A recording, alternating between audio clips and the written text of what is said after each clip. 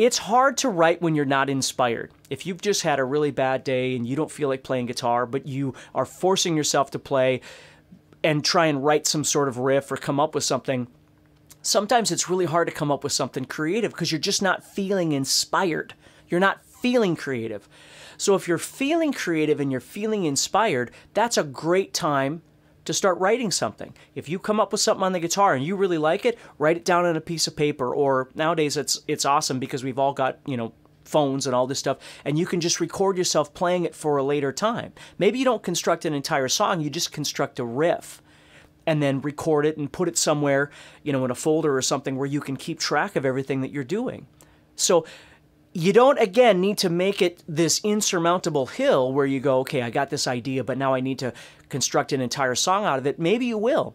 But maybe right now you won't. Maybe you'll just come up with that little idea and then you'll revisit that later today or tomorrow or something like that and then keep building. But the, the point is learn to capitalize on the inspiration. When the inspiration is there, do something creative with it. Okay? This is the next part. When the inspiration is not there, that is a great time to try and work on uh, practicing. Right? That's a great time to work on your scales and work on, you know, your theory and work on your technique and all these different kinds of things, um, because those don't require as much of a creative process as the other one does, right? So if you're not really feeling creative, you're not really feeling inspired, that's a great time to just get in there and start working on your chops and your knowledge and all these different kinds of things. And maybe that will even inspire you. Okay? Inspiration can come from going to shows, talking to people, reading a magazine, watching a video, right? Listening to music. All of these things can get you inspired. And let's say you're traveling and you get inspired and you don't have your guitar. You might just mark down like a, you might write down or record a, a, song like the song title that you were you were inspired by or 35 seconds into this song that's the riff that you were inspired by so you can come back to it later right? Different things like that.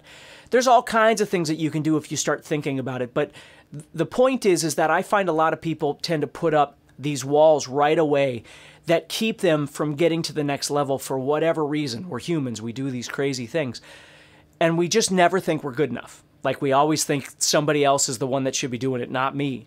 Okay? We have to learn about ourselves. We have to understand our comfort zone. Comfort is king. Okay?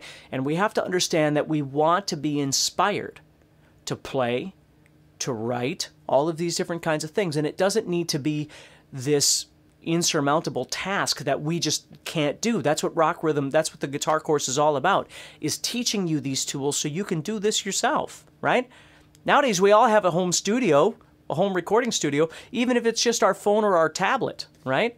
And some of us have a little bit more, right? Which goes into home recording and that sort of thing. Um, but we all have the option.